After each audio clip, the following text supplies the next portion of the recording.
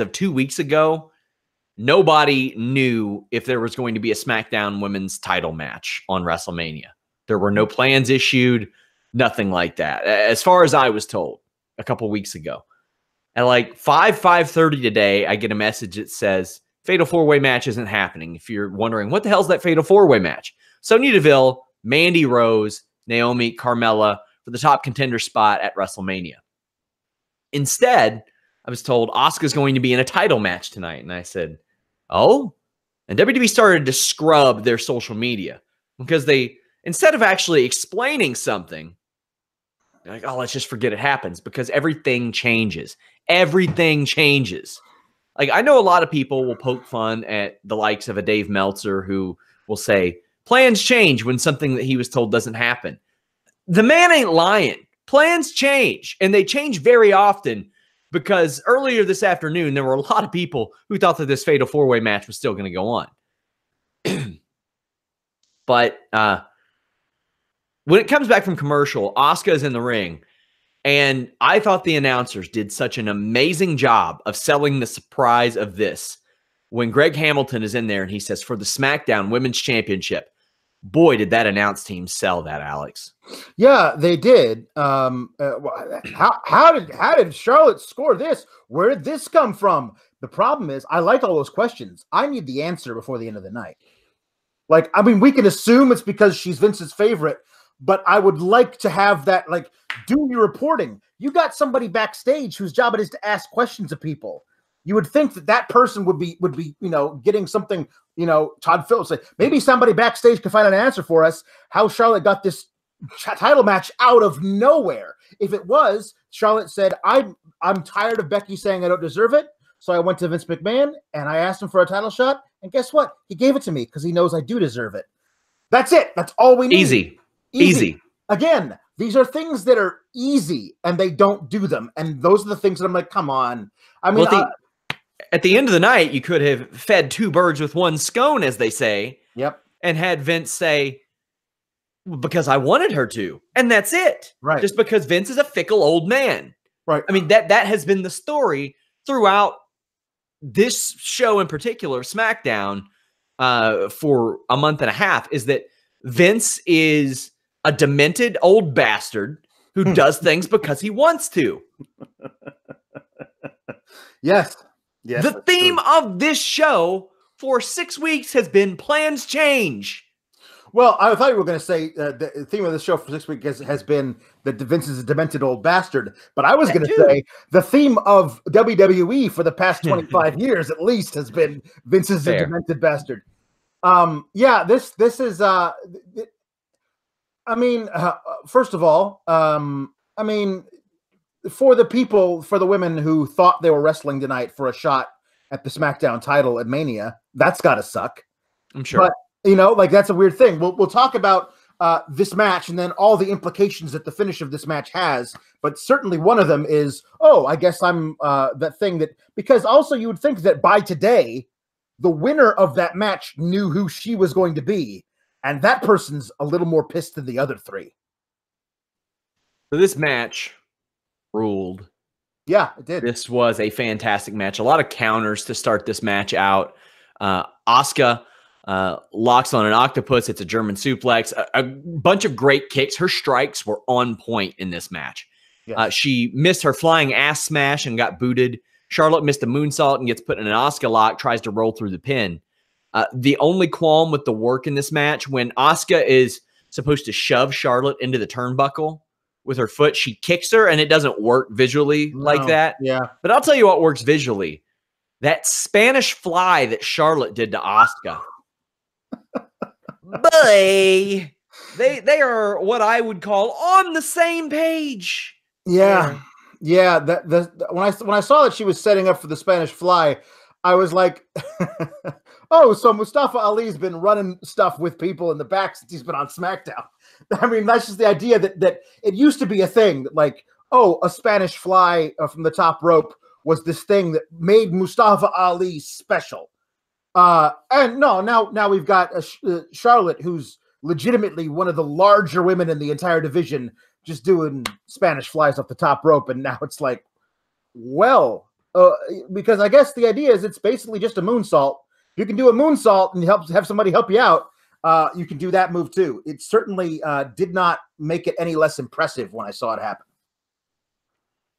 It was incredible. Uh, also, the series of reversals that led to a figure eight and Charlotte Flair subsequently winning the SmackDown Women's Championship. Uh, both of these women brought it.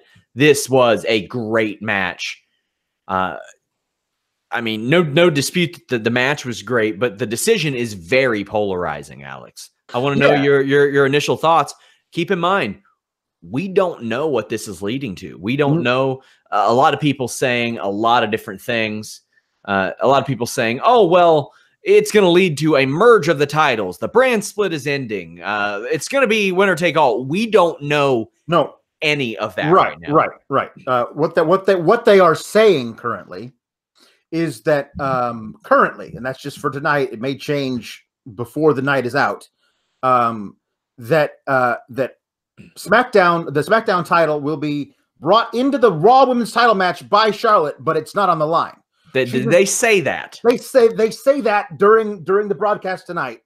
They say like, oh, Raw. They, they say that the Raw Women's Championship is up for grabs, and now Charlotte is the SmackDown Women's. Cha- This raises the stakes, and it and, and what they're saying, they're very key to say, it's it, they're very key when they're saying that it's not on the line, but it raises the stakes, which is that it doesn't make any sense. Just because a woman is like, you could put the the IC champion in a in a triple threat for the WWE champion. If the IC title's on the line, it doesn't raise the stakes. Oh, it well- may it may raise the profile of the match, but it doesn't raise the stakes. Now, I mean that that could all change next week, but did Right. you know that according to Vince McMahon, WrestleMania 6, Warrior versus Hogan, that was not for the Intercontinental title. Per Vince McMahon. Yeah, Bruce Pritchard has brought this up on his podcast several times. It was only for the WWF Championship, according to Vince, even Right. though to me and literally everybody that watched it, it was for both. Otherwise, why the hell is Warrior carrying it in? thank you. Um, and there, this this this is where I'm at with this. Um, why are you putting the title on Charlotte to have her bring it into a match in which the title is not on the line? And a lot of people are saying, "Oh, this is so." At the end of the night, they can have Sasha and Bailey with women's tag titles, and Becky will win the triple threat, so she'll have the Raw title, and then Charlotte will have her title, and they'll stay on the ring, and the whole thing. Yeah, we talked about this months ago that that was the final image of WrestleMania.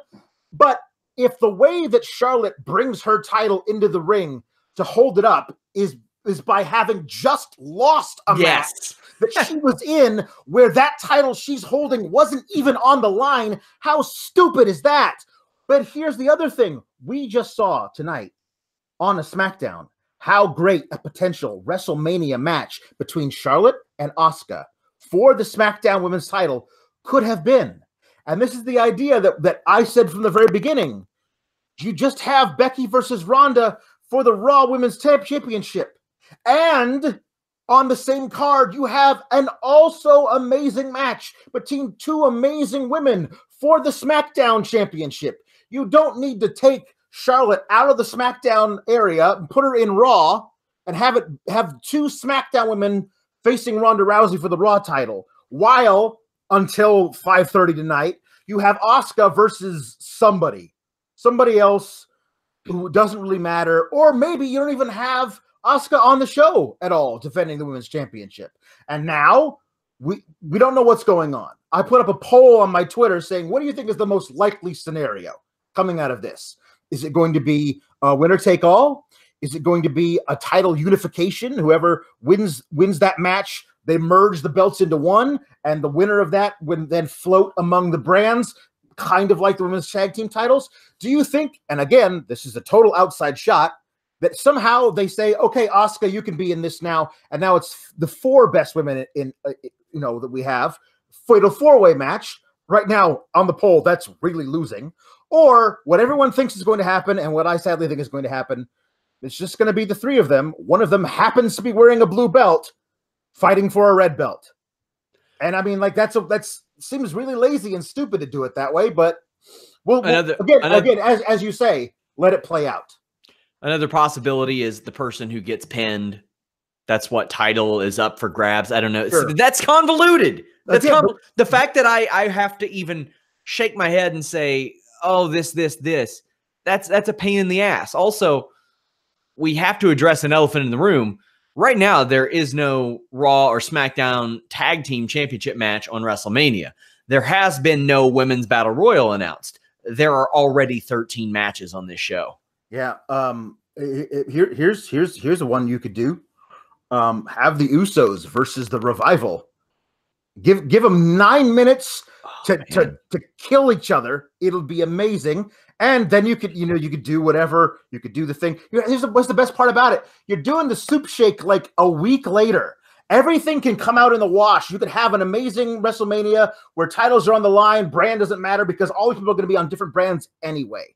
But I think you could easily do that where you could say the best on Raw versus the best on SmackDown. But wait, that only happens in November, I'm told. WWE has been incredibly lazy, lazy over the last three months from botched call ups to just bastardizing their, their brand split to an extreme level. I'm talking like 15, 16 people jumping brands. Yeah. Shelton Benjamin is a SmackDown wrestler, as we learned tonight. Uh-huh. He's still, still there. Rey Mysterio is going to be on Raw next week.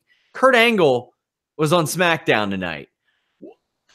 Come on. It, My God. And, and now people will say to me, it's WrestleMania season. It makes it. No, it doesn't make sense. No, no, it, it makes doesn't. sense here and there, not for everybody. So yeah, the the the thing that you have with this is that uh, going going back to the Asuka thing is that everyone like, poor Asuka. I don't know about poor Asuka, but they certainly have have made her way way more of an also ran kind of a other uh, an other thing way to the side of this. They had her in a great match tap out Becky Lynch at the Royal Rumble and then took her off TV for like a month and a half.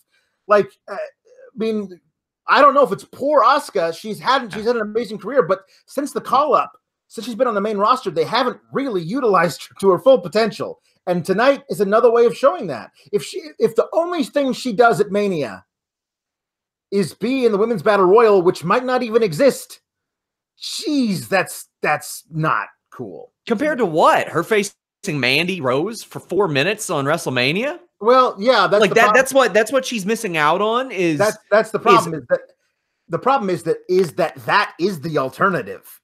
That shouldn't be the alternative. Exactly. Should, there should be a different thing that they do. You could have you could have her defend against all. I thought what they were going to do is have that fatal four way that they, that they talked about end in some kind of smosh smosh thing, and it would be you know what Asuka comes out and says, "Let's see if all of you are ready for Asuka. I'll face all of you in a fatal five way."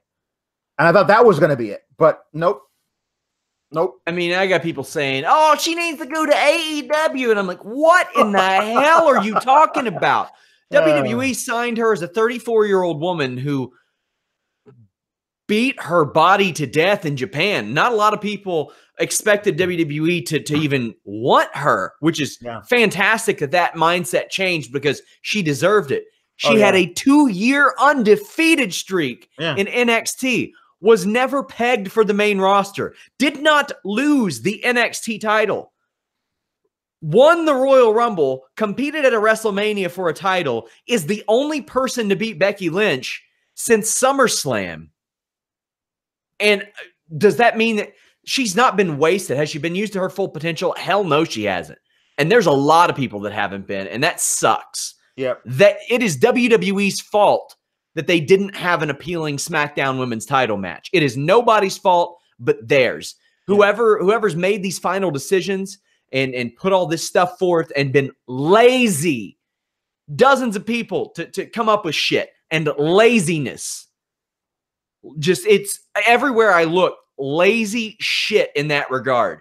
Do I think that Asuka's been wasted? No, she hasn't been, but uh, she has not been used to her full potential, and that's for damn sure if she's in the battle royal and she wins it, okay, I'm cool with that. I'm I'm not screaming poor Asuka. I'm not thinking, man, poor Asuka making six figures and and, and doing all this stuff, uh, winning the title against Becky Lynch and Charlotte Flair, and then tapping out Becky Lynch the same night Becky Lynch becomes Royal Rumble winner. I, am not thinking poor Asuka, uh, but I, it's it, it always seems alex like we are like we are waiting for wwe to get past their own waiting it's like Yes. they're like well once once we get past wrestlemania maybe they'll adhere to this brand split No, Uh, once they okay once they figure out where they're going to put these call ups then they'll find a program for them nope.